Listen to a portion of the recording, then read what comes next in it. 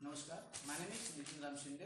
I am a teacher in Sri National Maharaj Vidya Mandir Power, Pen District Raigad.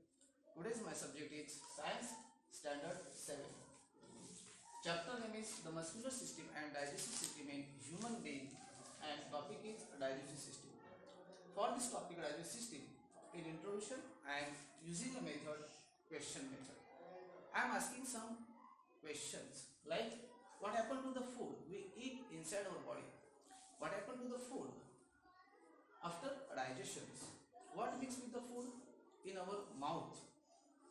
We start digestion from where? And do you know what is an enzyme? I am asking this question because with the help of this question, I am recalling the previous knowledge of student. Then I am going to the delivery. In delivery, first I am explain this chart.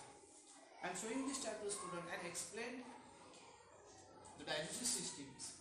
Then I am in delivery. I am taking the method that that is a role play. In role play, I am choosing first six students. Student A, I am giving mouth salivary glands. Student B, I am giving throat and esophagus. Student C, I am giving a stomach. Student B, uh, D, I am giving a liver. Student E, I am giving a small intestine. And student F, I am giving a large intestines. Each students or each performer should become one by one and enact their roles. Then I am going to the conclusion. In conclusion, I am using a project method. I am giving a project to student.